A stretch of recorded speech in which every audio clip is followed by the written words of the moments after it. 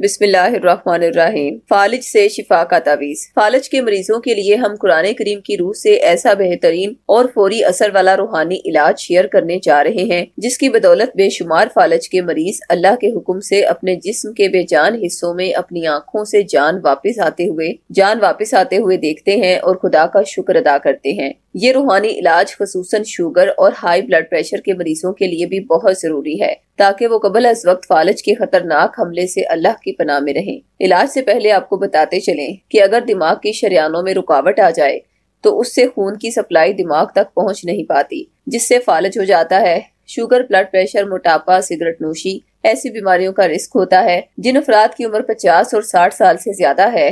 और उनका blood pressure और शुगर लेवल दोनों को कंट्रोल ना किया जाए तो वो खुदा न ख्वास्ता किसी भी वक्त अचानक ब्लड प्रेशर और शुगर लेवल ज़्यादा होने की वजह से फालज का शिकार हो सकते हैं। फालज की अलामत में अचानक मुँह टेढ़ा हो जाना, शदीद सर दर्द, सर चकराना, बोलने में मुश्किल आना, जिसम में सनसनी की लहर तोड़ना चलते चलते अचानक गिर जाना, गर्दन में दर्द, किसी भी एक तरफ़ के हाथ पाओ का काम ना करना, आवाज़ का मुतासर होना वगैरह शामिल है। बच्चों में फालिज की वजह दिमाग का इन्फेक्शन दिल के वॉल का मसला या खून की खराबी होती है। दुनिया में हर चार में से एक फर्द को कभी भी ज़िंदगी में फालज हो सकता है। इसलिए कबल अज वक्त एहतियात ज़रूरी है। इसलिए इस बीमारी से शिफा के लिए डॉक्टरी इलाज के साथ साथ रूहानी इलाज अल्लाह के करम से फालज के मरीजों के टूटे हुए दिलों में एक नई उम्मीद पैदा कर सकता है। इस रूहानी इलाज में मरीज़ को दो ताविजात उसके नाम से मंसूब करके अरसाल किए जाते हैं। जिनमें एक तावीज सूरह शुरा का है, जो कि शिफा के लिए दिया जाता है, जबकि दूसरा तावीज सूरह बकरा का है, जो कि मरीज़ पर अगर किसी भी किस्म के बदसरात मौजूद हैं,